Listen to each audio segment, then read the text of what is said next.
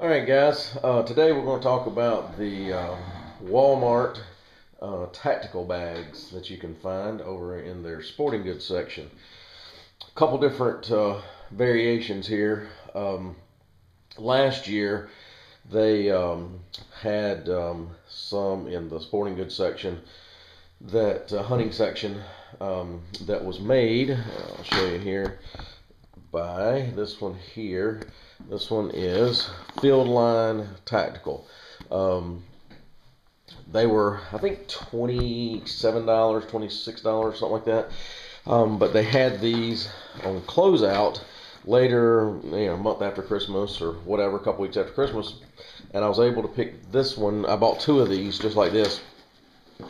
Um, I bought uh, these for like twelve dollars a piece.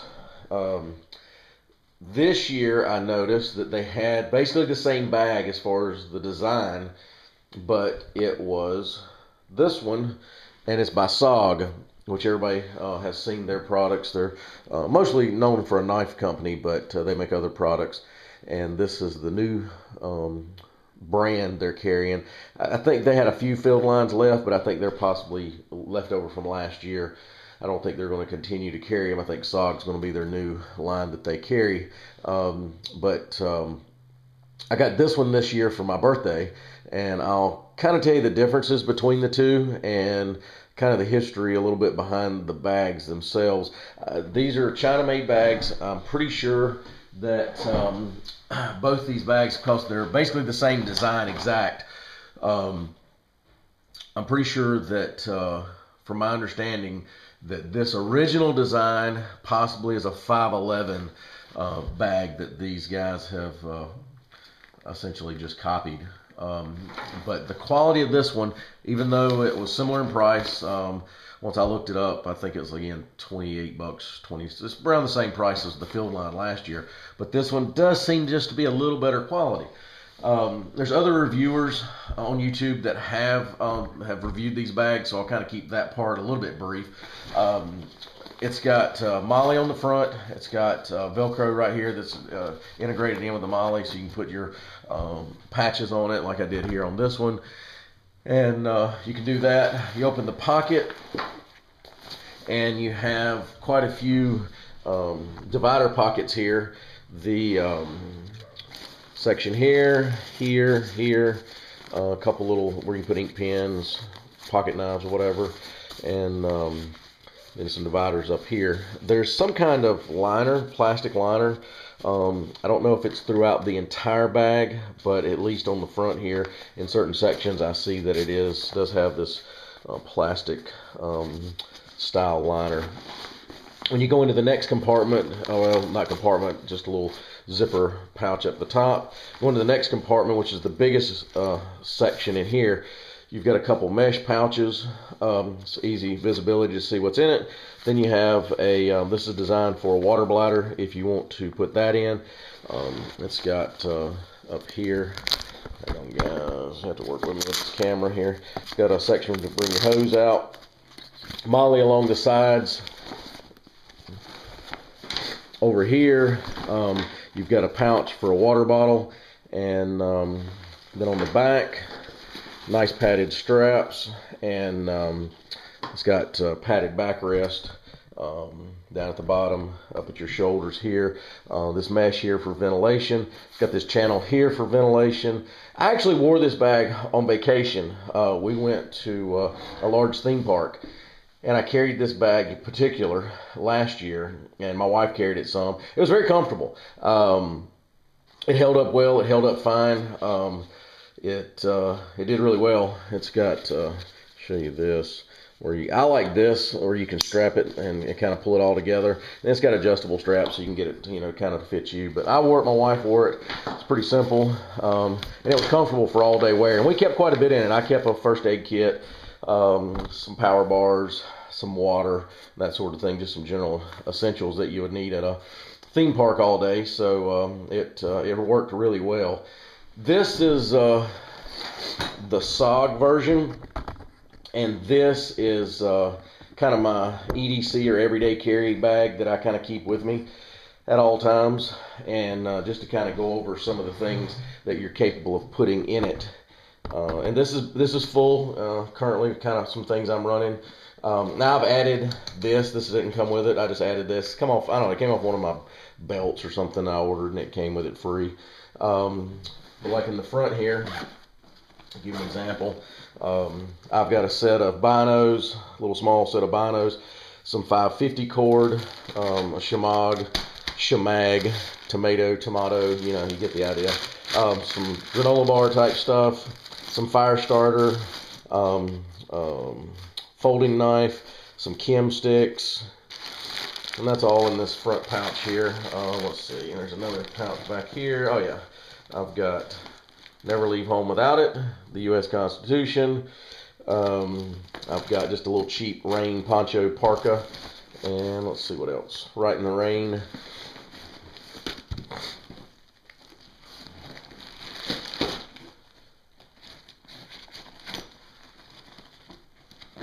Let's see. All right, that was section one. Also, I've got a uh, it's got these little keeper things here, like if you want to hang your keys or something. I've got a name tag and some uh, some more uh, ear protection, foam earplugs.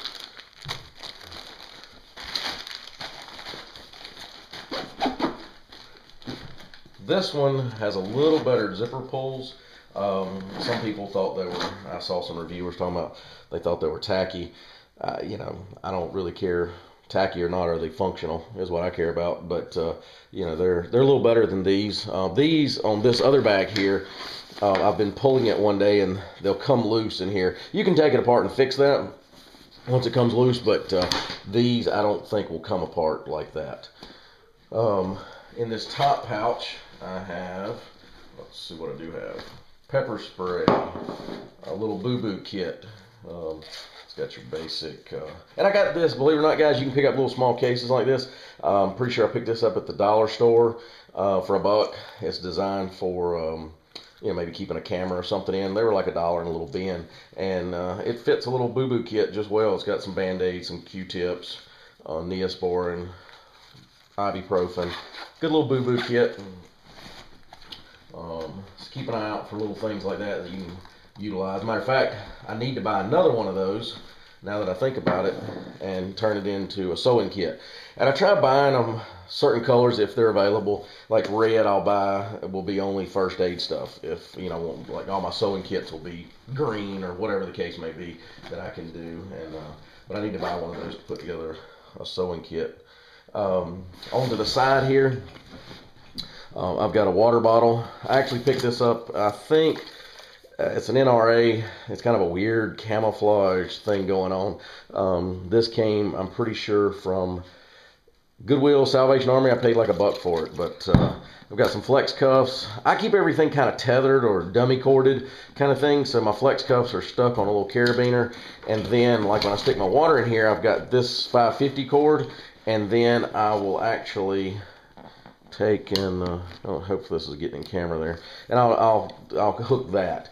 Um, you never know if you get in a hurry, start running, dragging stuff around.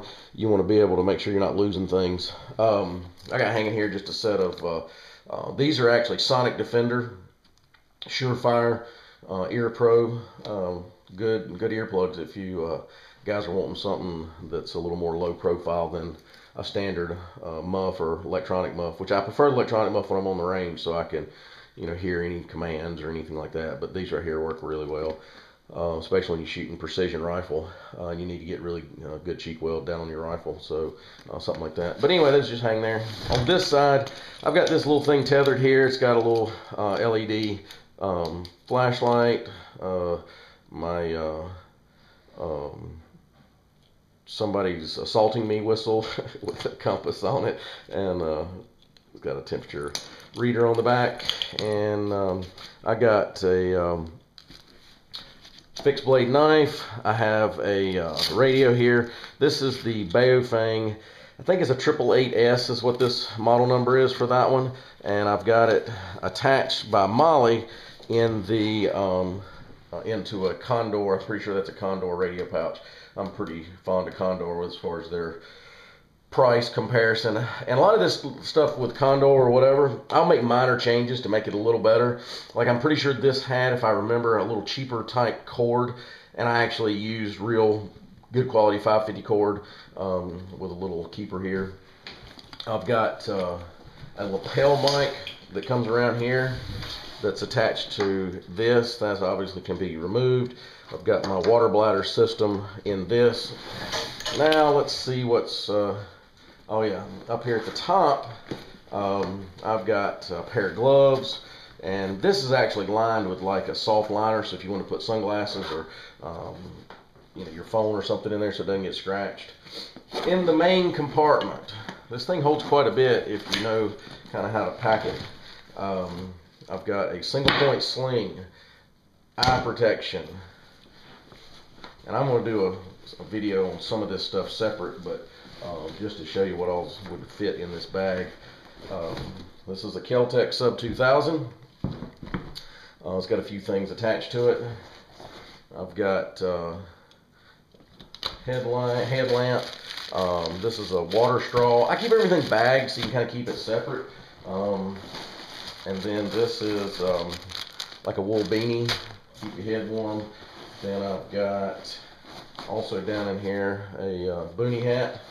And then that's, I actually stuck that in my water bladder section just to kind of compartmentalize everything so it's kind of separate and I know where things are at, easy to, easier to get to. Stuff all that back in there. Got to forgive me guys, I got a little bit of a cold today, so uh, it's kind of, if I sound a little funny, I'm doing a little sniffing, I apologize. In the mesh pockets up here, I've got extra batteries for my lights, um, hand sanitizer, um, little cheap camo band um, bandana, um, lip balms, obviously multiple use. You can use it for your lips, you can use it for fire starter, you can um, use it to grease a gun if you needed to in a hurry and didn't have anything. Um, hand sanitizer.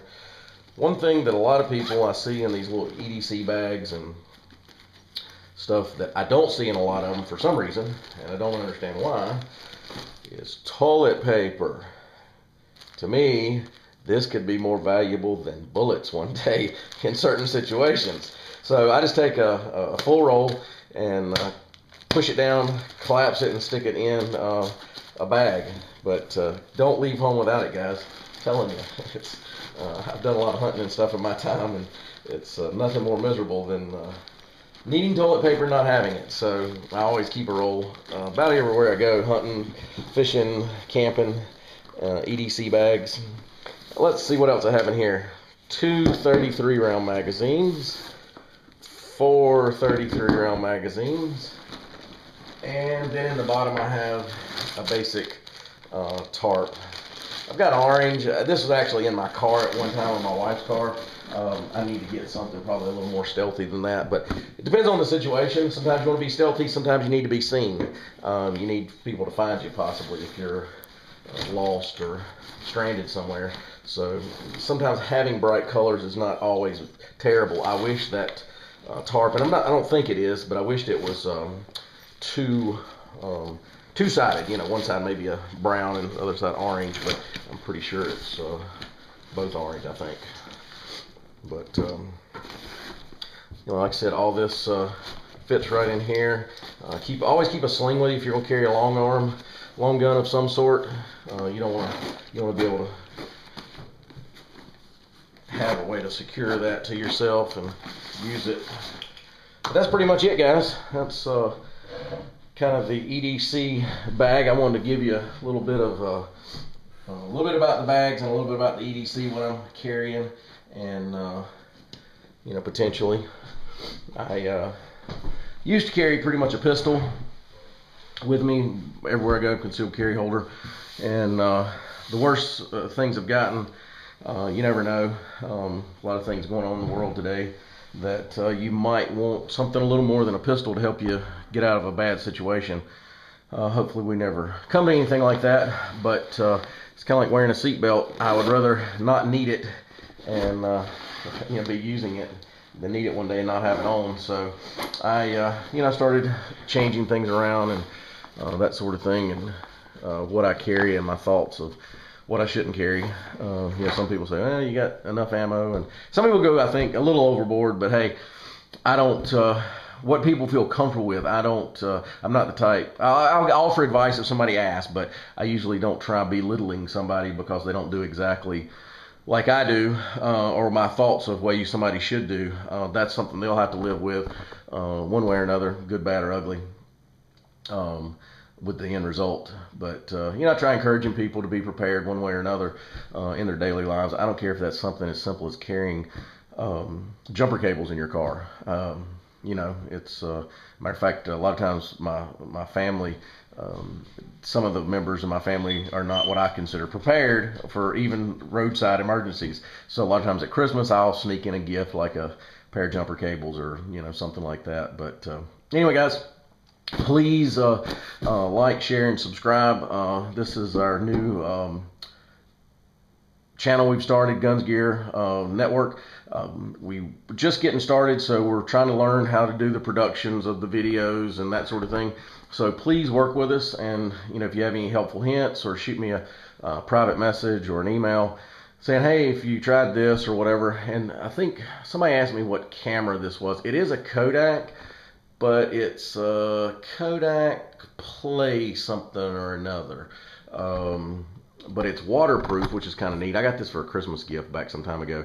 Um, but it's a pretty good little camera, but uh, probably not the best for doing anything halfway professional for the YouTube communities. But uh, I think you'll get the idea, and we'll hopefully upgrade as uh, time and money allow. We'll upgrade a few things, the cameras and our, the way we do our little setup here and all that. But I just want to give some basic tabletop reviews and um, get uh, people interested in uh, prepare, you know, preparation and um, the uh, anybody that's looking to get into guns and gear. My, you know, most of my uh, network is going to be about, uh, especially beginners, people learning or wanting to learn um, about getting into um, outdoors and shooting and uh, preparation and all that. This is a you know channel that's going to be for them, and there'll be some people that'll probably get some things out of it that's been around the block with. Uh, you know, preparedness and guns and gear. You might pick up a few things, but uh, again, it's uh, way to share our knowledge and help each other out. Again, guys, I appreciate your time. Um, like, share, and subscribe, and uh, hope to see you soon with the next video. Have a good day.